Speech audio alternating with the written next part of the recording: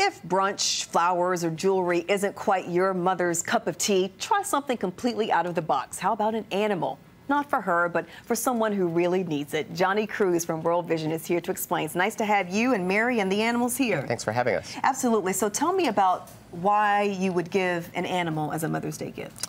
Well, mothers everywhere want the best for their children, and what a great way to honor your mom by giving a gift that has the power to transform the life of a family in need around the world. Um, the World Vision gift catalog allows you to purchase animals such as sheep or goats or other types of animals that can go to a family in need and provide not only food but also economic opportunity for people around the world. What part of the world are we talking about?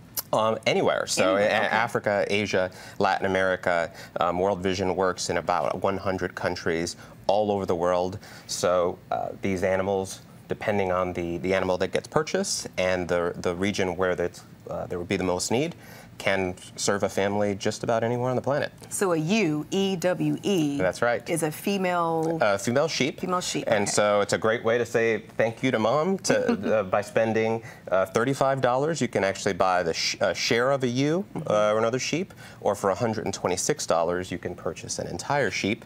That sheep not only provides about a half gallon, uh, half gallon of milk every single day for a family.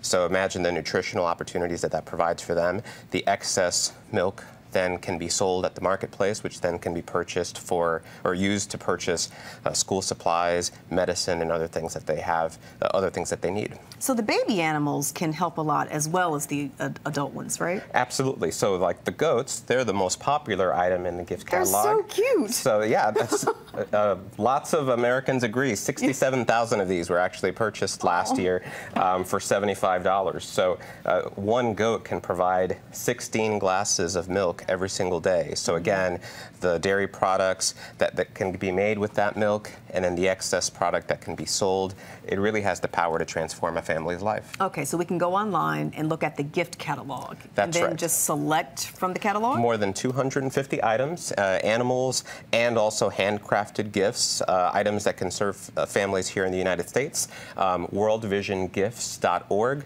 or you can also call 855-WV-GIFTS. But this is about making, uh, allowing people to be independent to sustain themselves. Absolutely. So these gifts are sustainable. So for example, if you if a, a purchased sheep or goat is going to help a family in Africa, it's purchased in Africa to support that economy. So it's all about really helping to provide a sustainable opportunity for people to lift themselves out of poverty. And so if I buy one of these for my mom, it'll be given in her name? Absolutely. Right? Okay. So if you purchase this online, you can either have a card sent or print it out um, with a personalized note that says, I bought this gift in your honor and um, you can give that when you deliver breakfast in bed for your mom or whatever other gift you're going to give them.